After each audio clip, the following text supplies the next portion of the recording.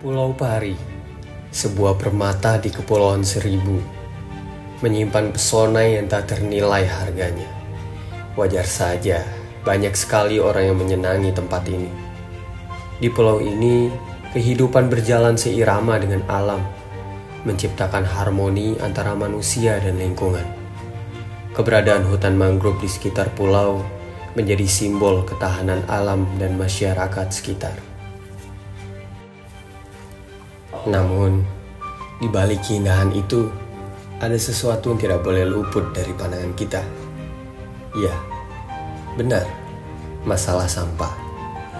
Jangan sampai sampah menjadi faktor utama untuk wisatawan tidak mau berkunjung lagi ke pulau ini ya teman-teman. Dengan kearifan lokal yang terlihat dalam tradisi gotong royong, masyarakat Pulau Pari bersama IPB University melalui program BIMA menginisiasi pengolahan sampah organik menggunakan maggot dari lalat tentara hitam atau BSF dalam upaya untuk menjaga kelestarian dan keindahan alam pulau ini. Dalam hal edukasi, IPB University telah melakukan sosialisasi melalui pelatihan yang berjudul komersialisasi maggot kering dalam rangka peningkatan pendapatan berbasis ekonomi sirkuler benar-benar kecil dia akan menjadi bentuknya seperti segede gini ya. Sampai nanti kita akan keringkan.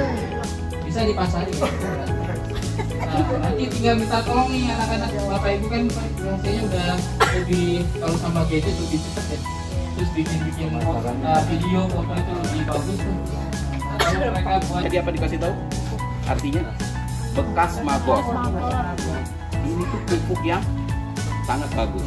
Pelatihan ini membahas tuntas tentang apa itu maggot, apa saja manfaatnya, teknik budidayanya, hingga pengolahan produk turunannya.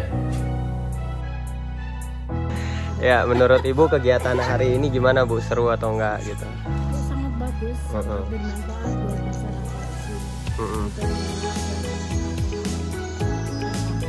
Terus harapan ke depannya untuk budidaya maggot ini nanti gimana Bu?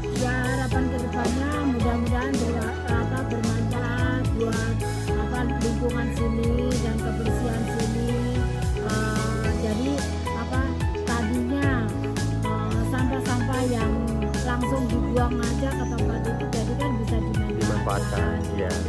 juga, bisa nanti kalau emang eh, berkembang bagus dan berhasil kan juga bisa menambah ekonomi juga. Betul, betul. Nah, ya. Dengan Bapak siapa Pak namanya? Eh, harapannya ke depannya nanti budidaya maggot ini seperti apa? Bapak.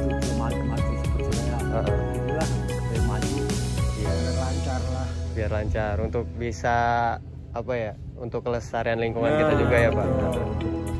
buat usaha masyarakat aja gitu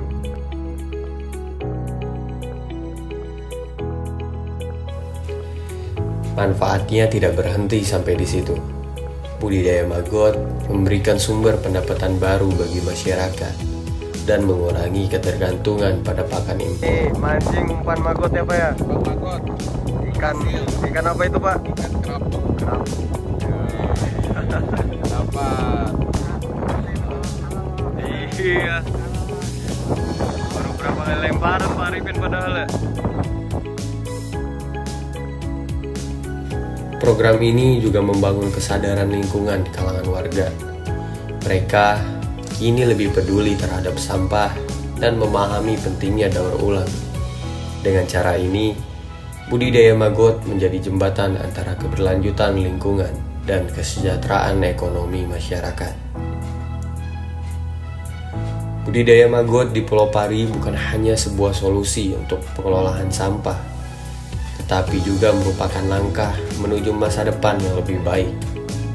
Mari dukung inisiatif ini untuk lingkungan yang bersih dan masyarakat yang sejahtera. Tiga.